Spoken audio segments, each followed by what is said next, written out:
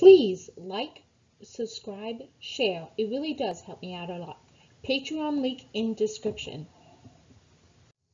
Welcome to Saint of the Day. Today is April the 15th and today's saint is Saint Hunna. Saint Hunna was born in Alsace, France. She was the daughter of a duke and had a privileged life. Saint Hunna married Huno of Hunawihr, who was a noble person and aristocrat. Saint Deodatus of Nevers, pictured here, was a great influencer on her family and their faith. Saint Hunna was known for caring for her family and others. The townspeople called Saint Hunna Holy Washerwoman.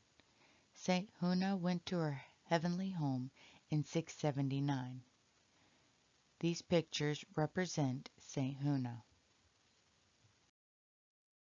In the name of the Father, and the Son, and the Holy Spirit, Lord God, you desire that all children come to the faith.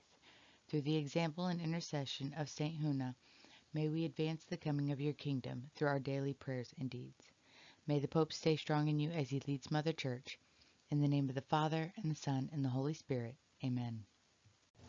Thanks to the following. My husband for believing in me and my faith. My boys for giving me the time to do all the videos. Brittany Weeks for being the voice of my videos. Thank you.